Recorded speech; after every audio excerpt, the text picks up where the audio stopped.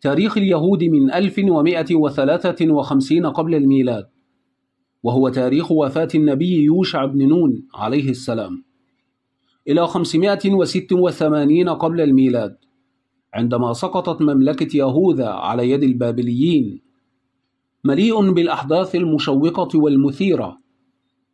مر هذا التاريخ بثلاث مراحل رئيسية اختلفت الآراء حول مدتها. فبعضها استمر قرابة قرنين وأخرى تقارب أربعة قرون أو قرنا كاملا. وهذه المراحل هي المرحلة الأولى عهد القضاة. المرحلة الثانية عهد الملوك الأول. المرحلة الثالثة عهد الملوك الثاني. والمعروف بعهد التدهور والانقسام. الذي أدى إلى زوال ملك بني إسرائيل من فلسطين. في هذا الفيديو سنجيب على الأسئلة المتعلقة بهذه المراحل الثلاث وأسباب تسميتها وأسماء بعض القضاة والملوك في العهدين وأسباب التدهور والانقسام في العهد الثاني. فابقوا معنا حتى نهاية الفيديو. ولا تنسوا الضغط على زر الإعجاب والاشتراك في القناة. أنا رمضان الريدي وهذه قناتي. الدفتر خانة.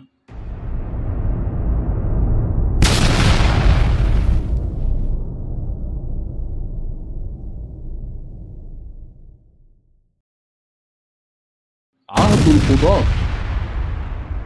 هذه المرحلة كانت البداية. بعد وفاة نبي الله يوشع بن نون عليه السلام حيث استمرت حسب بعض المؤرخين قرنين وآخرين قالوا أربعة قرون. والبعض الآخر قال قرن واحد. عرفت هذه الفترة باسم عهد القضاة حيث كان القضاة هم الزعماء والقادة وشيوخ العشائر ورجال الحرب الذين ينتخبهم كبار الشعب حكاما لبني إسرائيل عند الخطر. لم يكن لبني إسرائيل ملوك في تلك الأيام بل كان كل إنسان يفعل ما يريد ولم يكن هناك خلافة متتابعة بينهم. فقد يكون هناك أكثر من قاض في نفس الوقت. الرواية اليهودية في سفر القضاة تحكي عن هذه الفترة وتقول وأقام الرب قضاة فخلصوهم من يد ناهبيهم. سفر القضاة في الكتاب المقدس يعرض سيرة بني إسرائيل وأحوالهم والنكبات التي أصابتهم وضعف حكمهم على الأرض المقدسة مما جعلهم في معارك دائمة ضد الوثنيين من أهل فلسطين العماليق. وكان هذا العهد من أسوأ عهود بني إسرائيل حيث انتشرت بينهم شتى الرذائل والمنكرات حتى أن بعضهم عبد الأصنام وقتل الصالحين وانتشر فيهم الزنا وغيره من الذنوب. النبي الصالح صموائيل بن قانة كان آخر القضاة في هذه المرحلة وحاول إصلاح ما أمكنه من فساد بني إسرائيل الذي استشرى بينهم وعظم أمره.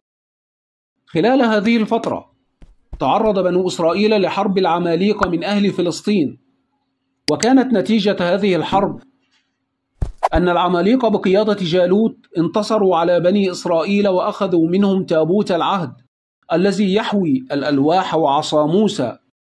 هذه الهزيمة كانت نقطة تحول كبيرة في تاريخ بني إسرائيل وزادت من إصرارهم على طلب ملك يقودهم ويعيد لهم كرامتهم وتابوتهم المقدس.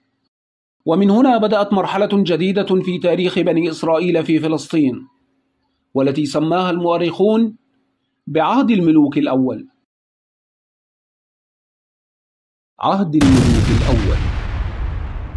اختلف المؤرخون في تحديد هذه الفترة كسابقتها فمنهم من قال إنها من سنة 1095 قبل الميلاد إلى سنة 975 قبل الميلاد. وآخرون قالوا من 1020 قبل الميلاد إلى 922 قبل الميلاد. وهناك من قال من 1030 قبل الميلاد إلى 930 قبل الميلاد. لكنهم اتفقوا على أن هذه المرحلة شهدت تقوية بني إسرائيل. وتلخصت هذه الفترة بحسب الملوك الذين تولوا ملك بني إسرائيل وهم ثلاثة. الملك طالوت. بدأ الحكم وأسس الجيش. الملك نبي الله داود. وحد المملكة وانتصر على الأعداء. الملك نبي الله سليمان. بنى الهيكل وعاش عصرا ذهبيا. وهنا نتوقف قليلا على وعد بفيديو جديد نكمل فيه تاريخ اليهود بداية من عهد الملوك الأول وقيام مملكة بني إسرائيل وحتى عصر الشتات.